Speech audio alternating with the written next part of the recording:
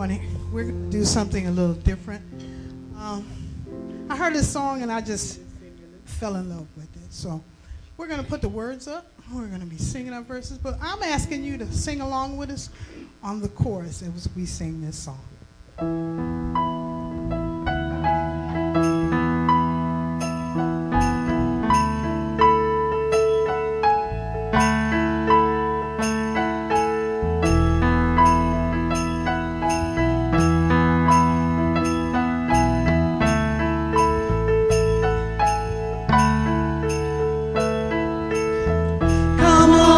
Faithful, and sing. Lift up the song to our King.